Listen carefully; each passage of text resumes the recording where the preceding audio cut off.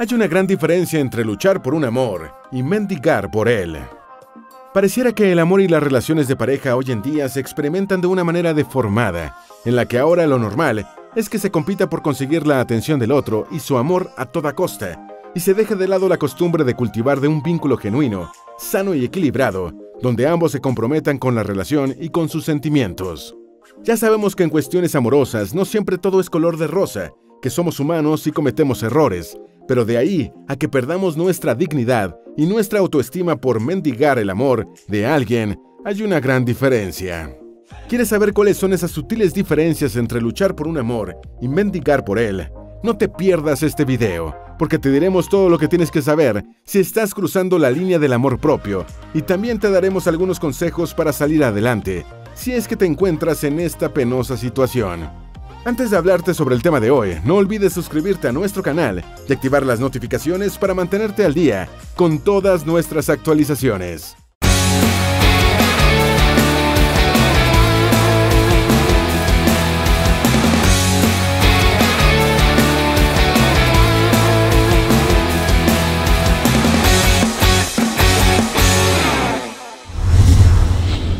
Número 1. Si tienes que perseguirlo, estás mendigando amor.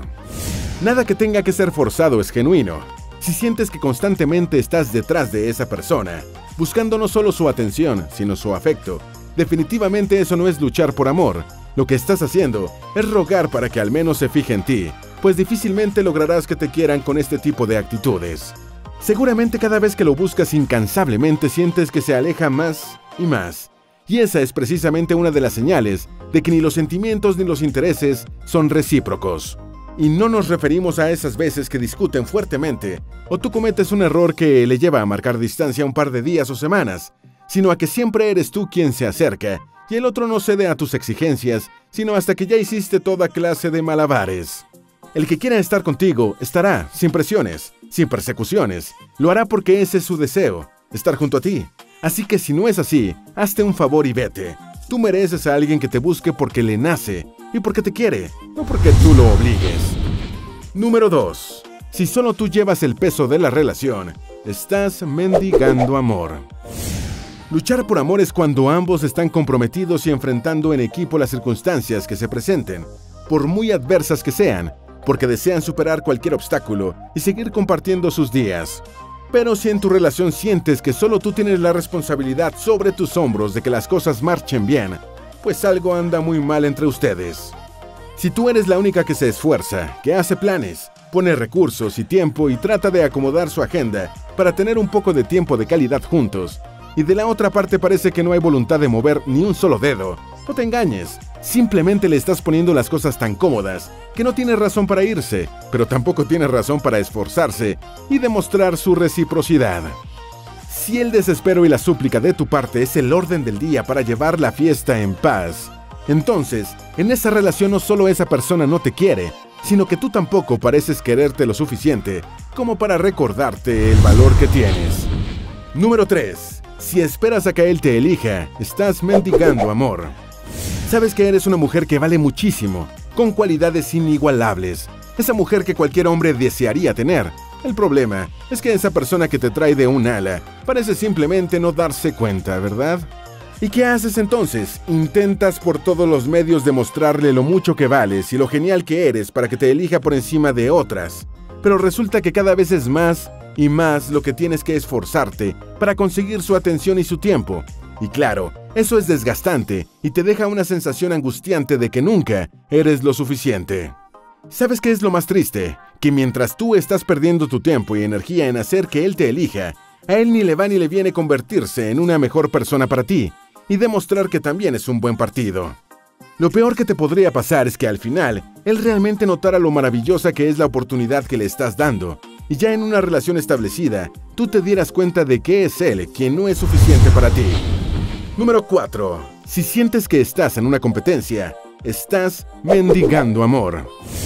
Sientes que estás en una competencia, esa persona te lleva a esforzarse más allá de límites saludables para que se dé cuenta de que existes y te elija por encima de las otras muchas opciones que tiene paralelamente a ti. ¿De verdad crees que de eso se trata el amor genuino? Pues obviamente no. Piensa con detenimiento, ¿contra quién o qué compites realmente? Contra todo aquello que en cualquier momento puede venir y robarte la ínfima atención que recibes de la persona que amas. A eso te estás exponiendo. Lo sabes muy dentro de ti. A pesar de todo lo que haces por estar ahí, puede llegar alguien que en un santiamén se haga con lo que tú nunca has tenido, su tiempo y atención, y eso puede tenerte en un estado de ansiedad y depresión constante. El amor no es un juego, ni mucho menos una competencia. En el amor no se gana ni se pierde. El amor es un trabajo conjunto de dos personas que han decidido emprender un proyecto de vida porque se quieren y porque quieren que su relación siga dando pasos firmes y con el esfuerzo de ambos.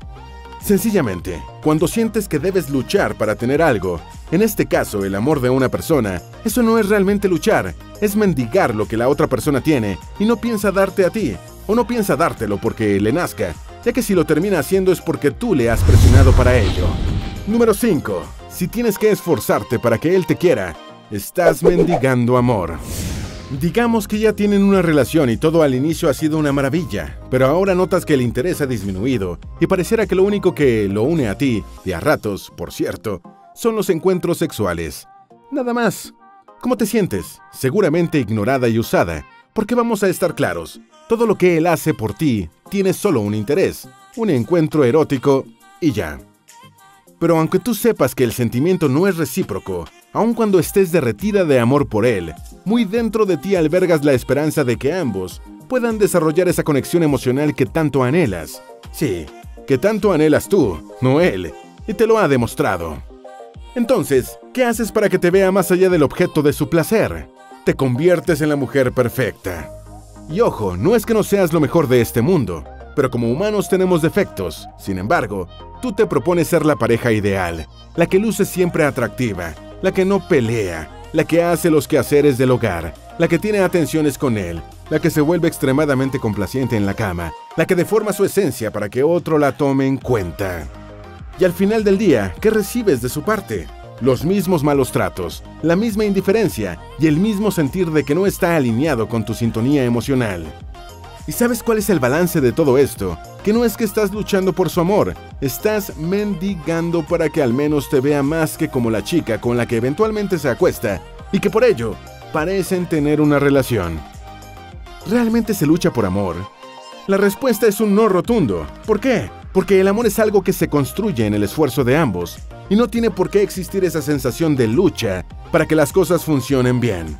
Una cosa es lidiar con las desavenencias o las circunstancias fortuitas del día a día, y otra muy distinta es convertirse dentro de la relación en un caballito de batalla. Eso no es sano para ti. Cuando dos personas se aman, no existe esa sensación de tener que hacer más de la cuenta para recibir la atención y el afecto que mereces, o para que el interés no se desinfle si no mueve cielo, mar y tierra. No hay angustia porque pueda aparecer alguien más y robar la atención. No hay desespero por querer hacer ver que todo es perfecto para que así no se acabe. Así que sácate de la cabeza esa frase hecha de luchar por amor. El amor es algo que se activa de manera espontánea y cada día se abona y crece saludablemente con el esfuerzo y compromiso equilibrado de ambos. Y en todo caso, si existe cabida a la lucha, es porque sabes que el otro te ama y vale la pena que se esfuercen por la relación, pues estás segura de que te ama y que esa persona haría lo mismo por ti. 10 consejos para evitar mendigar por amor. Número 1. Si sientes que tienes que rogar para que esa persona se quede, no hay que darle más vueltas al asunto. Ese no es tu sitio, ni el del otro. Vete cuanto antes. Número 2. Quien te quiere de verdad jamás te orilla a que le supliques por atención, por afecto o por compañía. Te lo da sin que se lo pidas. Así que si estás con alguien que te da migajas de su tiempo, mejor aléjate e invierte en ti misma ese tiempo que esperas que alguien más te dedique. Número 3. Si realmente alguien te ama, jamás serás una opción.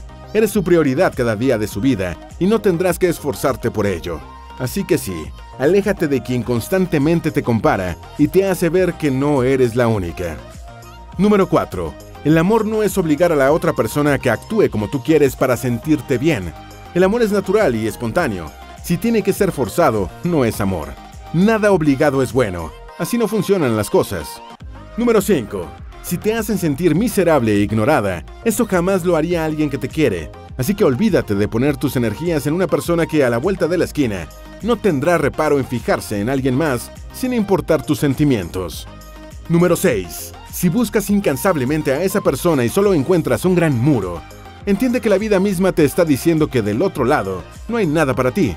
Sé digna y date la vuelta.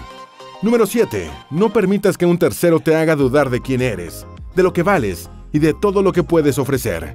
No permitas que te orillen a sobreactuar para que tus virtudes sean tenidas en cuenta. Número 8. Convéncete de que mereces un amor bonito y correspondido. Donde no sientas que sea recíproco, lo mejor es retirarse a tiempo que caer en una relación tóxica, donde la más perjudicada serás tú.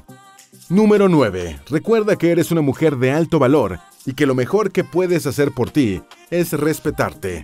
Si ruegas por la atención de un hombre, minas tu autoestima, nunca lo permitas. Número 10. Ten claro que una cosa es esforzarte por alguien que sabes que te ama, que luchar incansablemente para que alguien te ame. Hay una sutil diferencia. Lo primero es válido. Lo segundo es totalmente irracional y tóxico. Nunca, pero nunca lo olvides. Esperamos que este video te haya sido útil. Si tienes algo que agregar, por favor, compártelo con nosotros en la sección de comentarios. No olvides darle me gusta a este video y enviarle el enlace a tus mejores amigas para que sepan que hay una gran diferencia entre luchar por un amor y mendigar por él. Si eres nuevo en nuestro canal, suscríbete. Recuerda, la vida siempre es mejor con métodos.